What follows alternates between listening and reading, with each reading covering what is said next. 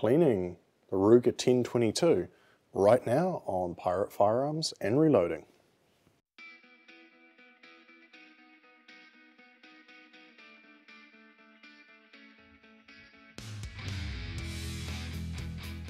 Hey folks, welcome back to the channel. So today, um, probably not the most interesting subject for some of you in the world. Some of you have probably done this particular task quite a few times. Um, I know I have, but if you're new to semi-automatic 22s, this might be a really helpful video. Um, same if you're new to the Ruger 1022 platform. Um, so this is my own custom built rifle. Um, put this one together oh, a number of years ago now. And this has been my go-to um, like pest control 22. Also shoot this in competition. Um, normally I have a one to eight um, Vortex Strike Eagle on top. I've taken that off because I do need to do some work with the rail. This actually has a um, Tandemkross left side charging handle adapter built into the rail. Last time I shot this, she started running a little bit slow and then every once in a while it just wouldn't um, actually fire off the case.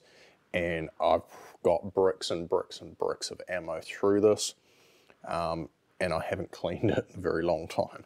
The other thing that contributes to how dirty a, a 22 will get, um, and, we're, and, we're, talking semi-automatic 22s here mainly, because they are a blowback action, um, a lot of that um, carbon and stuff does come back into the receiver. This is also an integrally suppressed barrel too, so more gases, more dirt coming back as there's more pressure in the barrel. So we're going to pull this thing apart and I'm going to show you how I like to clean it. This is not necessarily the be all end all, this is just the way that works for me. Um, I will say one thing now, um, I use petroleum based um, lubricants in my firearm. Um, I'm not really using any synthetic stuff and this might become important a little bit later on. If you choose to use synthetic cleaners and, and oils and things like that in your firearm, um, you want to get all the petroleum-based stuff out of the firearm before you go and, and lubricate it with synthetics. The big thing with a semi-automatic blowback like this, you want enough lubricant to keep it operating, but not so much that all the dirt, grit, carbon, and whatnot actually sticks to that. So let's pull this guy apart. Um, now, if you're using a factory stock or one of the, the commonly available ones, this is an Archangel, um, you need a 532 hex head. Um, got my trusty fix-it sticks. There is another video on fix-it sticks if you are interested. I absolutely love these things. Um, back that screw out there. This one in this particular stock stays captivated.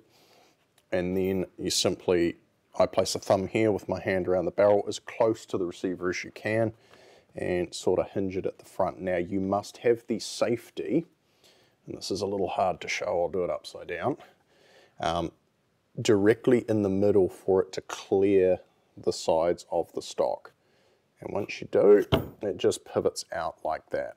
Um, this is definitely easy without a scope on it. If you are doing this with the scope on, I strongly suggest that you put scope caps or something over the lenses just in case. Now, inside the actual stock itself, it is pretty clean and tidy. I'll just give that a real quick wipe out. Um, well-used microfiber cloth. Right folks, so now we've just got our barreled action here. Um, all you need some form of a small precision or gunsmithing hammer. Um, and then I like usually, usually a relatively small punch and then you want a slightly larger one as well. All you're gonna do, there is literally two pins. Sorry, ignore my dog barking in the background and they don't even require knocking out. They should come out, oh, sorry, and just let the bolt run forward as well. That'll take some of the pressure off. Push those pins out like that. Now your trigger group or lower receiver comes apart from the upper assembly. In the back of the receiver here, I have a rubber um, pin in here um, I think this actually might be Derrilin, I can't remember. Um, and factory with a Ruger action, they come with a steel pin here. That's one of the easiest, quickest upgrades to quieten down your 1022. You don't get that sort of metal clang when it hits the back of the receiver. Um, it's a little bit softer on the receiver too, bearing in mind these are only um, aluminium or aluminum. Um, so let's go ahead and pop that pin out. What I should be, really be using is a bench block. Um, these things make your life so much easier. I'm going to take our larger pin punch and just push it out and then we can grab it. Um, some of the different materials out there with these pins, some of them will swell too if they touch um, petroleum-based lubricants. So it's important you get one that is hard wearing. I've seen them made out of Deralyn. Um, I've seen them made out of nylon. I've seen them made out of all sorts of things. This one actually, I believe, came with the trigger pack. So this is a Kidd drop-in trigger pack. Um, and we'll talk about cleaning that guy up in a second. So now we've done that, now we've got to get the bolt out. And this is a little bit tricky if you've never done this before. By removing that rear pin, we now allow the bolt to travel a little bit further rearward, which should mean that the bolt comes out nice and easily. So if you get really lucky, and we're going to try this, you basically retract that all the way back, and I'm going to try doing this upside down place your finger on the front of the bolt face and just give it a little wiggle up. Now this is actually going to probably work for me today. Once you've given that a wiggle up, you can release the charging handle. Now, if we turn this all upside down and give it a little tap, it all falls out. So, let's see if we can get this on the camera. As you can see, she's rather nasty in there and this is what a blowback semi-automatic 22 will look like when you don't clean it. First thing I like to do is just give it a real quick wipe over and just get the worst of the mess off. Um, at this point in time too, um, tools like a little pick like this come in really handy, um, allowing you to get under things like the extractor. I hope that's coming out focusing on the camera. See all the dirt that piles in here, okay? Now is a good point too to inspect your parts for wear. So some of the wears that you can get um, typically is the extractor here itself. Um, mine is definitely starting to wear. The little claw is probably not as sharp as it once was. I know that's working at the moment, so I'm not going to be particularly worried. If I was having um, failure to extract, as in it's not pulling the empty or even alive out of the chamber, I'll be looking at replacing that. Um, and certainly sometimes the little spring in here as well. But for today, that's all looking pretty good. The other wear point that can happen, and um, if you do a lot of dry fire with your 22, is you can wear the firing pin. Now these are all upgraded parts, so I'm pretty confident that they're okay. Now, what I typically do with this bolt assembly, rather than pulling the entire thing apart, which, I mean, you can, you remove the pin here, that removes your firing pin and spring assembly. They were extracted out through the back. And then you can also remove the extractor. I choose not to do that um, because most of the gunk can be removed without doing that. And what I've got here in a jar is kerosene. Um, so I just keep a bit of kerosene lying around for things like this.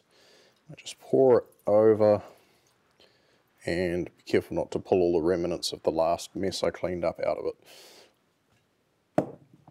So I just use the kerosene over and over until it's starting to look real nasty. The thing I like about kerosene, yes it is petroleum based and this was my initial warning to you all, um, but it's, it's a solvent, it cleans and breaks down gunk and grease and grime. Um, but it's also still oily and it still um, prevents rust. So I'm kind of cleaning and lubricating everything in here all at once. So I'm literally just going to park that off to the side and let that soak for a while. I can already see the carbon in that falling out of it, which is good. Now we're going to get in here. We're to do the same thing again. Take the rag, just give it a cursory wipe. A lot of this stuff is not even going to be in there very, uh, it's not going to be like stuck in there. It's really just a combination of carbon and the stuff left over from your last time you lubricated it essentially. Um, little Q-tips like this are really good. Oh. Just sort of work your way through and clean all this nastiness. If I can get that in the camera, clean all this nastiness out from around the barrel. Now, I don't clean the barrel itself. I do clean my chamber though. You'll hear multiple different schools of thought on whether you should clean a 22 barrel or not. I'm not big on the cleaning of barrels really full stop. I only clean barrels when I start to have accuracy issues. So once you've got the worst of the gunk out, that's once again when these sort of like pick type things come in.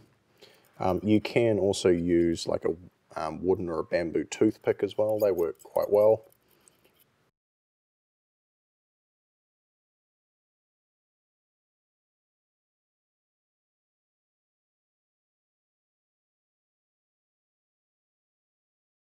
Now, if you are somebody who does like to clean the barrel, um, this is where some of your custom actions really come in.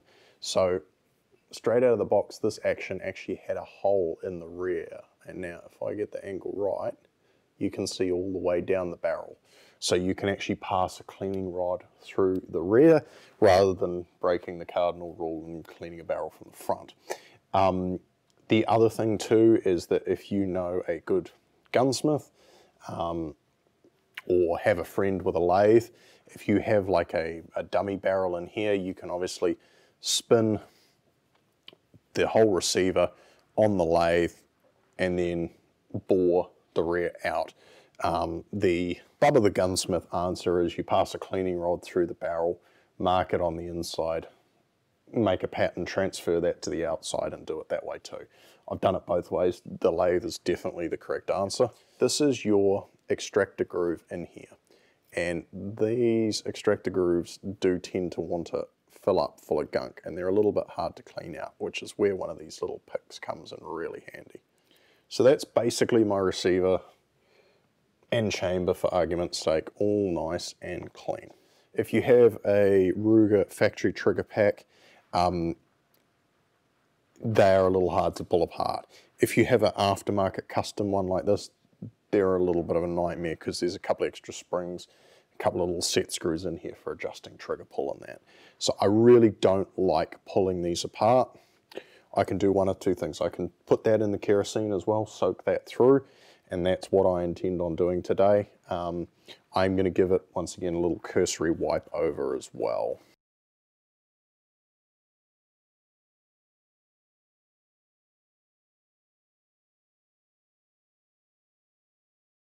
The old general purpose brushes here are fantastic as well. Really get it in that bolt face. A little bit of kerosene. Now, if you're worried about um, petroleum-based chemicals and you'd rather not use them, um, you can use just a general um, gun cleaning solvent to do this as well. Um, the other thing you can use is isopropyl alcohol. Um, now, before I forget, charging handle and, and guide rod spring assembly, also in the kerosene.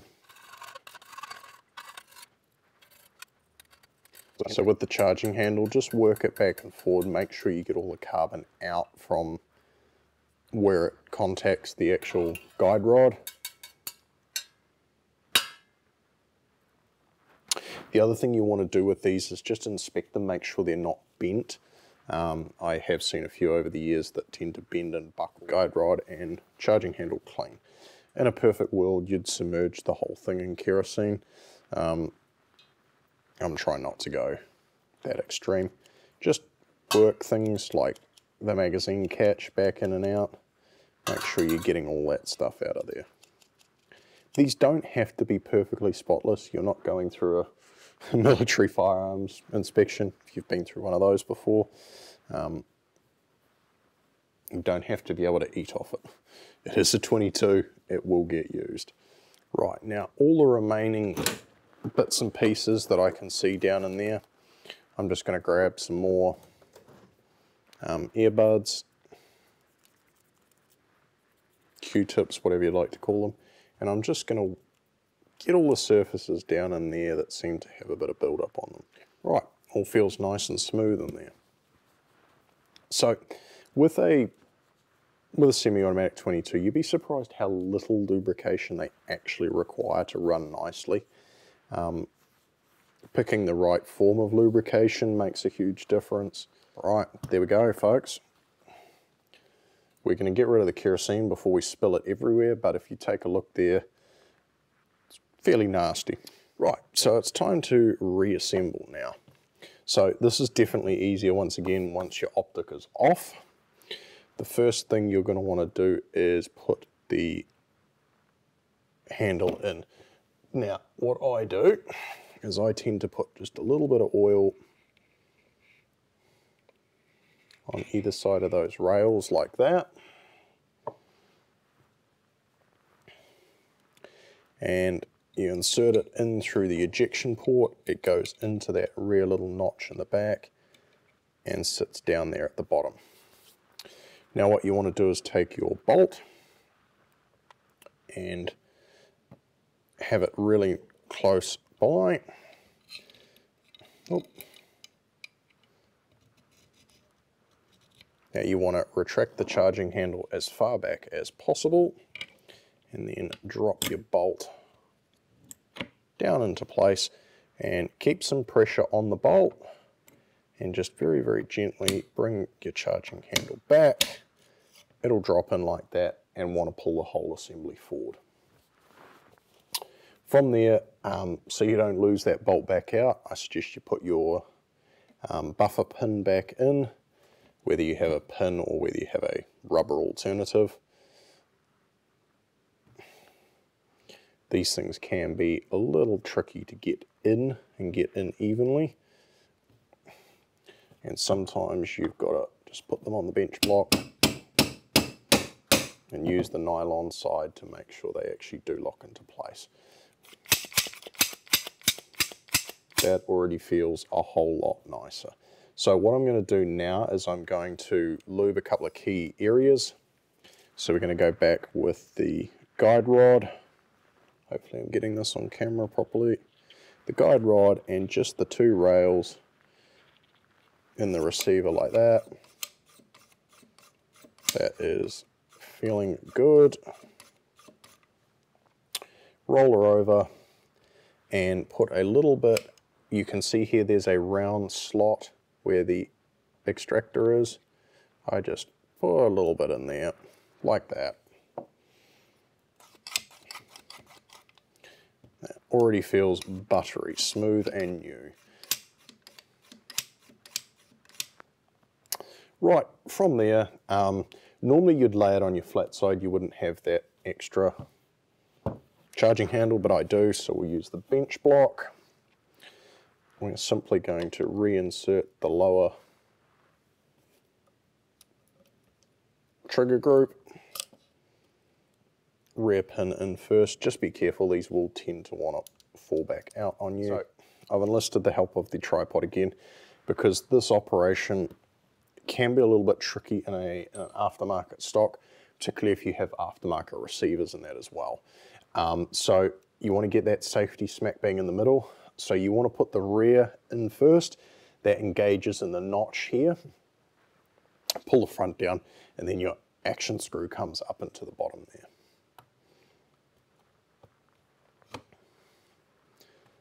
If you've done your job correctly, it will just very nicely sit back into place, just like that. Ruger themselves, from the factory, recommend you torque that action screw to 20 inch pounds. I have found over the years with testing that this rifle actually works better with 25 inch pounds. It's beyond the factory torque spec. I'm not using a factory receiver. So if you do use a factory receiver, um, 20 technically is the maximum. If you're careful and you, you recognize the signs, take it up to 25 and see how it goes. Just push that until it's finger tight.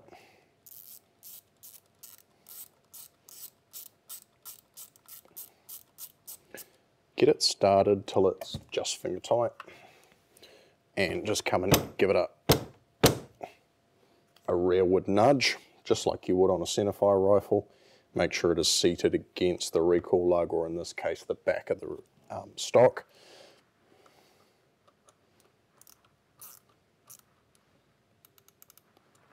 And just like that, you're back together. Now,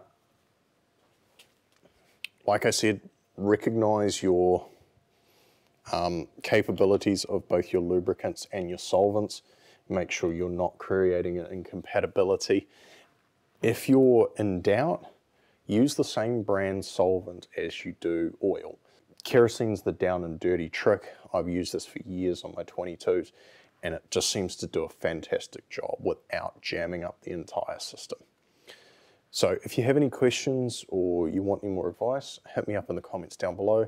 If you're not already, please subscribe, helps the channel out immensely allows me to continue creating this content. Um, until next time, have a good one. Thanks for watching. Don't forget to like this video and subscribe so you don't miss out on anything. And if you found this video helpful, please share it with your friends. If you have any questions, hit me up in the comments below. Catch you next time.